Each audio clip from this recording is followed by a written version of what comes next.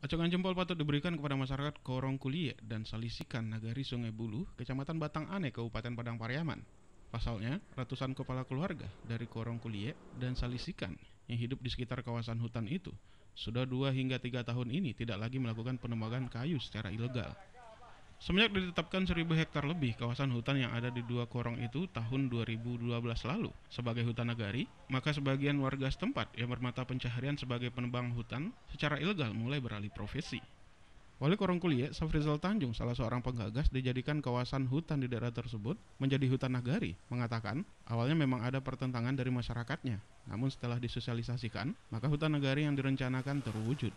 Menurut Safrizal, hutan nagari yang berada di Korong Kuliah dan Salisikan mendapatkan penghargaan dari Kementerian Lingkungan dan Kehutanan Republik Indonesia tahun 2014 lalu sebagai hutan nagari atau desa terbaik di Indonesia. Semenjak ditetapkan hutan nagari terbaik di Indonesia, maka bantuan mulai mengalir ke daerah tersebut, seperti pembibitan yang akan digunakan untuk penghijauan di daerah tersebut.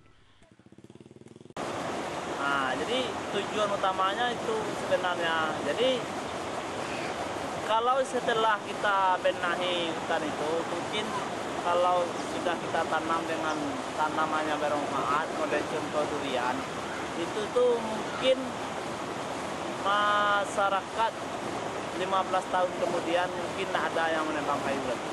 Coba, nah, mungkin batang durian ditebangnya mungkin lebih baik buahnya kita ambil kan. Iya. Jadi seka, kalau sebelumnya kan masyarakat itu terfokus pada kayu. Nah, jadi itulah tujuan kami untuk meminta hutan ini kami yang mengelola. Selain itu imbuhnya, hutan nagari di daerah tersebut akan dikembangkan menjadi hutan wisata karena di dalam kawasan hutan itu terdapat sejumlah tempat wisata yang sedang dikembangkan masyarakat setempat dalam beberapa bulan ini. Dari Padang Pariaman, Eka Gus Priadi melaporkan. Namanya uh, dokumentasi pertama